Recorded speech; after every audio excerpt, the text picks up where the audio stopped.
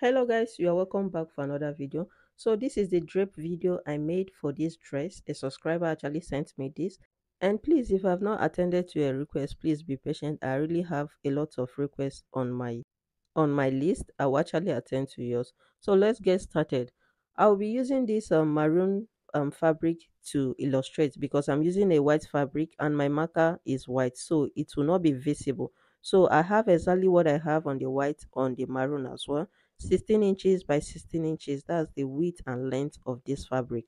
I am actually using a doll face satin a doll face satin and the white one is two piece. So the maroon one is just a lining that i'll be using to illustrate. Like i said i have this two piece of white um doll face so i'll fold it into um into four like we normally do for our circle. I'll fold it into four I'll fold the lining as well. The pointy edges, um, the place that does not have opening, I'll match the two sides together. So we are actually going to for, um, cut out a circle like we normally do for our circle. So from that pointy edge, I'll measure 8 inches. So 8 inches into 2 is 16 inches. That was why we cut 16 inches. So if you want a bigger length, like the one on my thumb there is about 22 inches so 22 inches, when you fold it over, is 11 inches that will measure. So I'll just cut it out. I just marked 8 inches all around. I made I made a smaller one. If you want a bigger one, like the one on the thumbnail, anything 20 to 25 inches is okay. But I think that one is 22 inches or just a bit above that. So I've cut it out and I've removed my pin. So this is how it will look. As you can see, it is a circle, the normal circle that we know. When I open up, you can see that crease line. I used my iron to form it, that crease line. Those four lines um, that you are seeing, seeing at that point. Uh -huh. So I will locate the center point. The uh, My iron has helped me to mark the crease line. From the center point, on the crease line at the upper part, I will divide it into three I'll take one third of it, one of it, I'll I'll just fold my measurement over like this to divide it into three, or you can use your calculator. But if you don't want to uh, do um, calculations, you can just fold it into three, and you with one value of what you folded, I'll mark it at the top, and on the second crease line, I'll mark the same value. So for the one I marked at the top, I will connect it into a straight line and cut it out. So this will be cut off. So I'm just repositioning my pin so that it will hold the one under.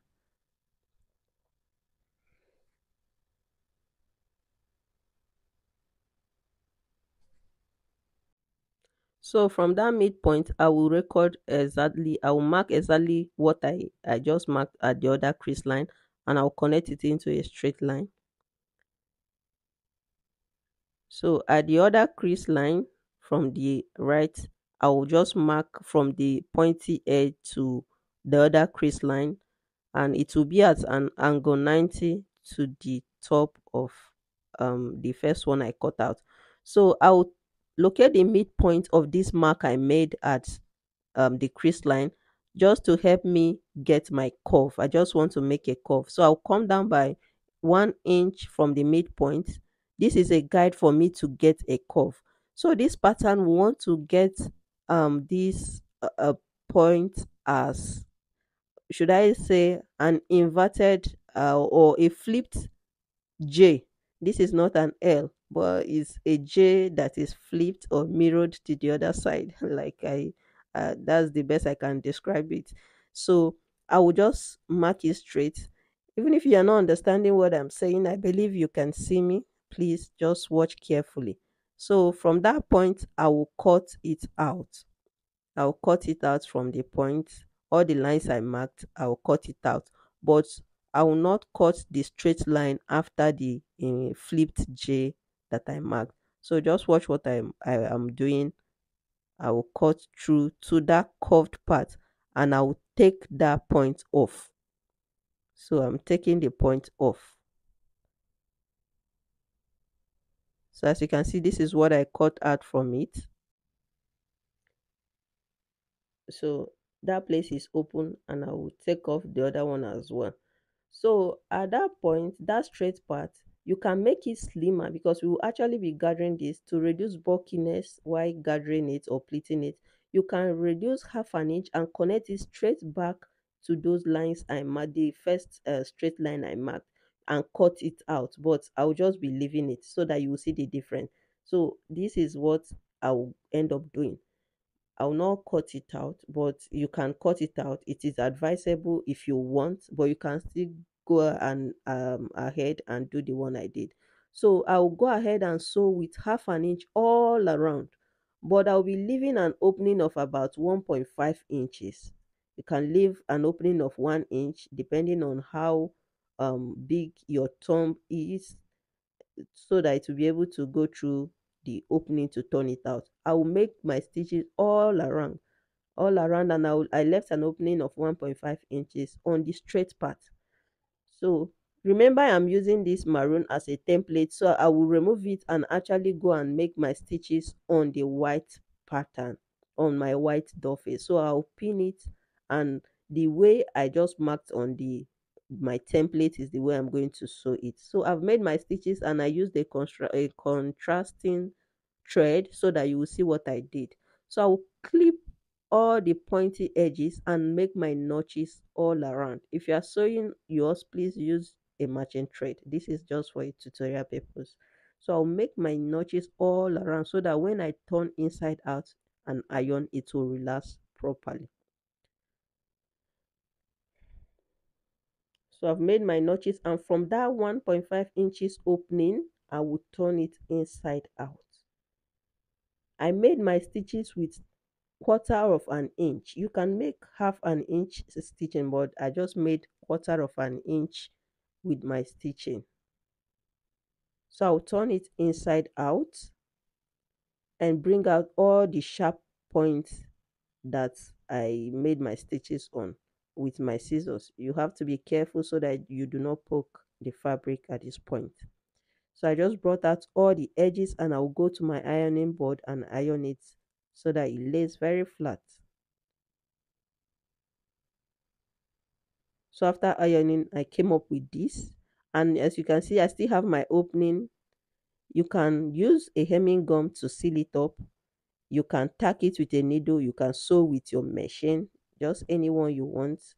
Eh, you can even leave it because we'll be actually be gathering that edge but i would take to my machine and sew. I've made my stitches a very tiny stitch stitch to close that place and we are good to go.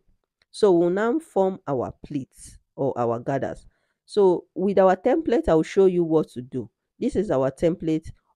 On that straight line and on the curvy line is where our pleat is going to go through so I will gather for you can use gather or pleat, it's just the same thing. So from there I will gather straight to the top. I'll gather from the curved part, from the curved part straight to the curve. So I believe you can see what I am doing. So you can you can fold it over, you can drape it. That's why it's called a draped bow you can fold it over pleat it to see how it will look like. So i will take my gathering to the top i'm just marking my line as a guide. This is a white chalk. You will not actually see it. And that was why i used a template that will be visible for you to see. So when you arrange the down parts you while you are um, making your gathers please be arranging it so that at the end the outcome will be fine so we'll be gathering that top but before then if you are not using um a belt buckle please gather that top and use your fabric and close it the way we do our bow. But i'll be using a belt buckle. So i'll first of all secure my knot secure my gathers so that it doesn't loosen. I will pass the needle through once again and secure my gathers before i'll pass it through my belt buckle I, I believe this is called a belt buckle, right? that that is what I call it. Maybe if you have another name for it, um, please share with me on the comment section.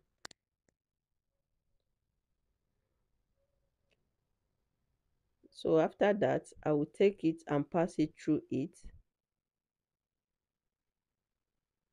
and um i'll just arrange it just arrange it make sure you that it, it comes out the whole fabric will not will not fit in perfectly. There will be squeezes at the middle because as you can see i'm using a smaller one.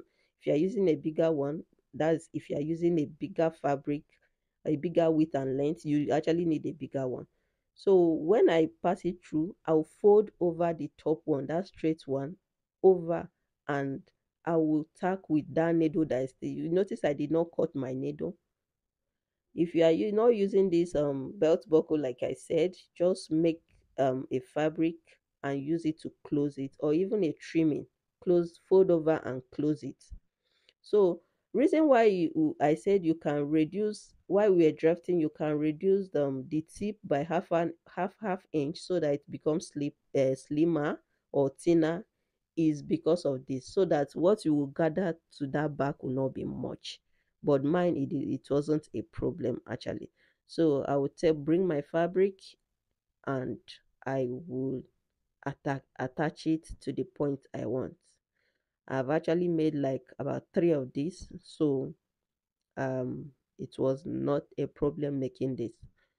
I don't know if you've made this style. If you have and you have any other um if you have the easiest part please i would like to see so this is how it looks like. What do you think about it? This is the three of them. This is what i've been able to come up with. Thank you. This is actually beautiful. Thank you for watching up to this point and i hope you will give it a try. This is called a draped bow. Draped yes a draped bow. And um, it's actually a subscriber's request. Thank you for watching like i said. And please hit on the subscribe button remember to turn on your notification bell that your bell icon so that each time i upload a new video it will be quite interesting that you want to learn or see my own method of sewing. Thank you and see you in my next videos. Bye